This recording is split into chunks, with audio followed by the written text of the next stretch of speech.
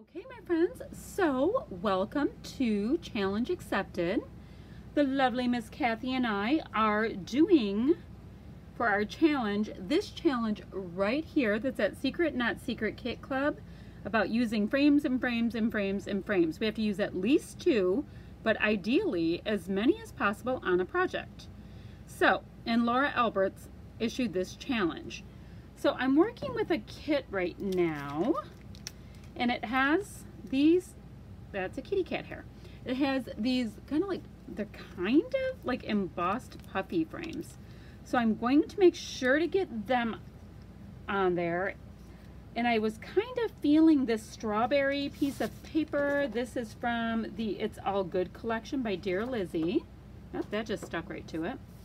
And then I was thinking of this as being my background. I like this kind of a dusty teal. So it is Pink Fresh Studio Joyful Day. So this is what I have so far.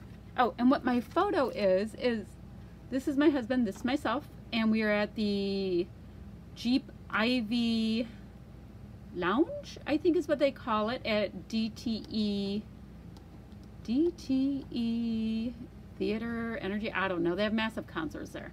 And we went to a concert there, um, is it maybe two weeks ago now?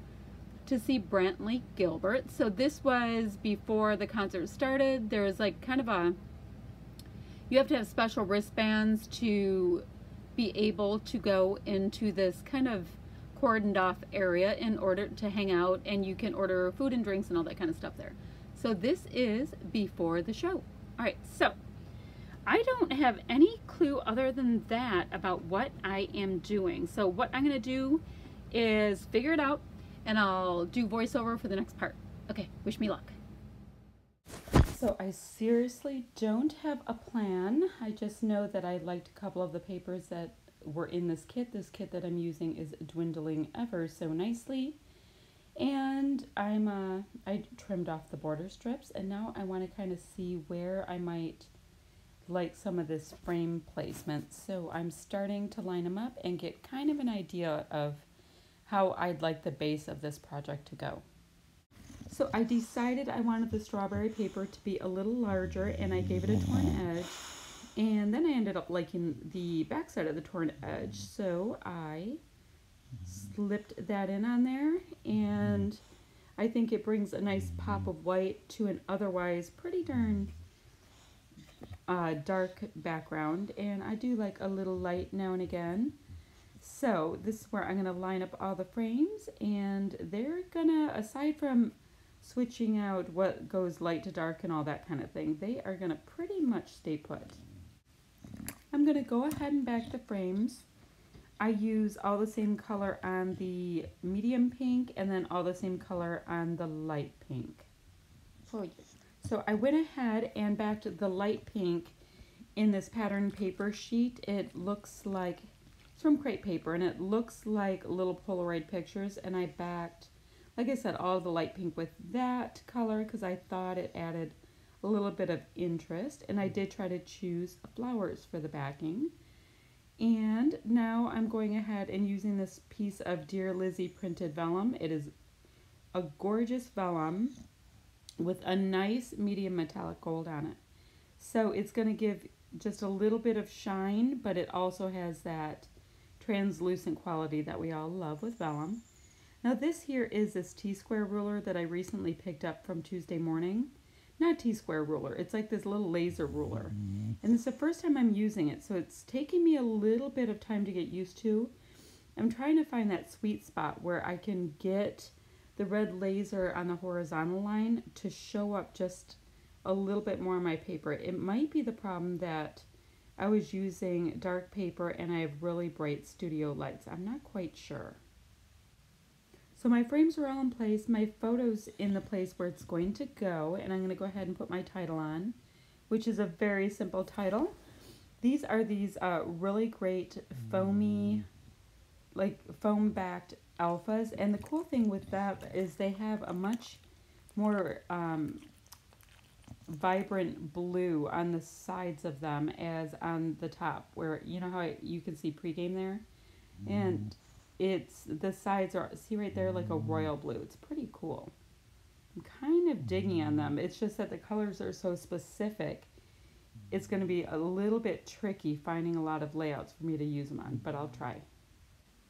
So I went ahead and put the words Jeep Ivy in the medium pink square to the right because that's the place that we were sitting in. And I went ahead also in the bottom left and I went ahead and used that as a journaling square and used my T-square rulers, put some pencil lines in, and described where we were for the night and the fact that our son got us tickets to go to see Brantley Gilbert and it was it was a great show and they had a secret guest that night that came out and sang four songs and it was Garth Brooks which was as big as it gets so that was a really good time um, right here I'm using these Crate Paper uh, chipboard and you can see that I've been using it like crazy I love when I can actually get traction with a project with a product.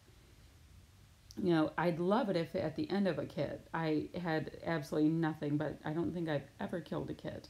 But I'm doing pretty darn well with these chipboard pieces. I'm not going to have a whole lot at the end. So I'm going through trying to get the little star pieces out. I really like those for this layout.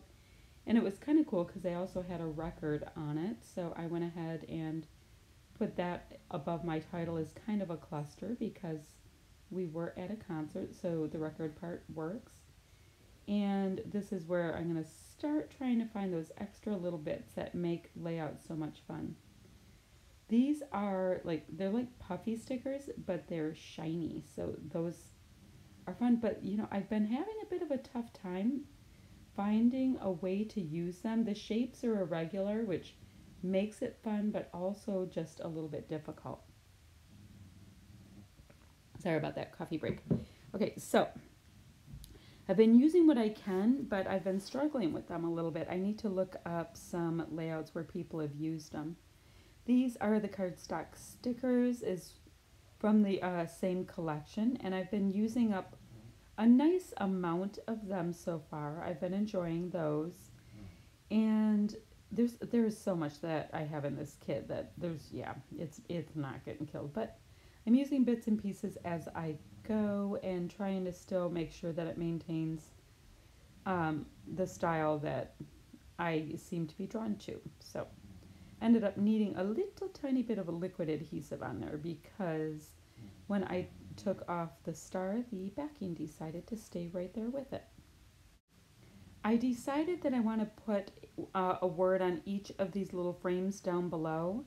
And I wanted to use a bunch of this, the uh, words from the torn paper sheet that you see in my layout. So it has all kinds of inspiring, uplifting, cute words. So that part's great. The only part that is not great is I cannot cut with with scissors a nice, clean, even cut. So I had to give up on perfection on that one because I just don't have the capacity to do nice clean lines. Like I, I mean, Shimelle does it all the time. So either she does not care that our lines are straight, or she has achieved scrappy perfection on that one. So I have the All Heart sticker booklet, and there's some really nice little holographic uh, elements in there. So I'm using those in a few places as well as looking through, um, so you see, I was seeing if the all heart tassels work. I'm like, no, my page is looking impressively busy as it is. So I decided to start uh, having a nice little sprinkle of sequins all around my page. All right, my friends, I am ever so happy with the way this layout came out. I have four, six, seven frames I was able to get on it. So I do think that I was able to complete the challenge for challenge accepted. Use all the frames right here. Layout, as you see, says pregame. We are at the Ivy Lounge, and that is it. I did end up using a couple things I really like. I have these handy dandy little pink half pearls that I got at a retreat for Secret Not Secret Kit Club, and then a couple of different sequin sets. So it's funny, it's like you, you know, I sit there and I'll look at the layout and I'm like, it's not come together, not come together. Then I throw a couple enamel dots or sequins on and I'm all happy with it. It's really interesting how it's just that those little tiny details at the end end up making you happy with the entire layout. I've got to stop dumping my sequins right on the desk because it is not easy to get them back into these little bags. Anywho, that is it for challenge accepted today. Take care. Oh, down below is Kathy's link. And if you could like and subscribe this video, there's even that notification bell like right there if you want to be notified when my next video comes up. Okay, see you soon. Bye-bye.